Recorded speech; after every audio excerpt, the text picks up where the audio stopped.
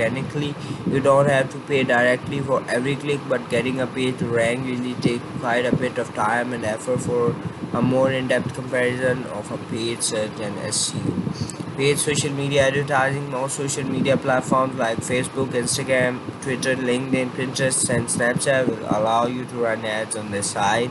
Paid social media advertising is a great is is a great tool for building awareness with audience that might not be aware that your business product or service exists.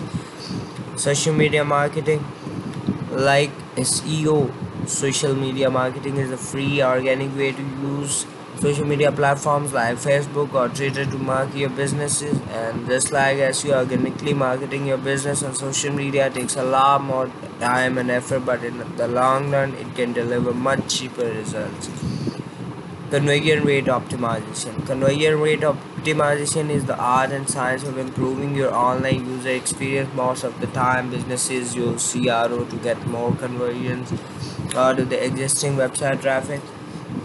Content marketing is another fairly broad digital marketing term. Content marketing covers any digital marketing effort that uses content assets, blog posts, infographics, ebooks, videos, etc to build brand awareness or drive clicks, leads, or sales.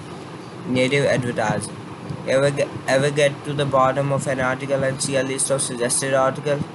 That's native advertising. Most native advertising falls under uh, content marketing because it uses content to attract clicks. You'll never believe what happens next.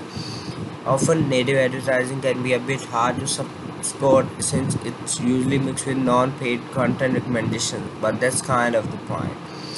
Email marketing. Email marketing is the oldest form of online marketing. It's still going strong. Most digital marketing use email marketing to advertise special deals, highlight content, often as part of content marketing or promoting an event.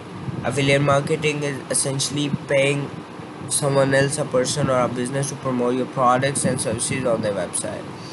As you can see from the list above, there are a lot of different ways to market your business online, which is why many businesses either hire an agency to manage the digital marketing efforts or pay for an in-house marketing team and marketing automation software to cover their marketing needs for an in-depth comparison of these options.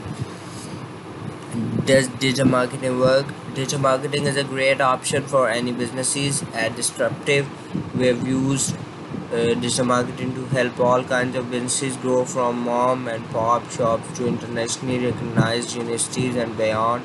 That's the beauty of uh, advertising online. If you know who you want to target, you can use digital marketing to target anyone, anywhere. However, the being said, certain types of businesses will benefit more from certain types of digital advertising. As a quick overview, let's take a look at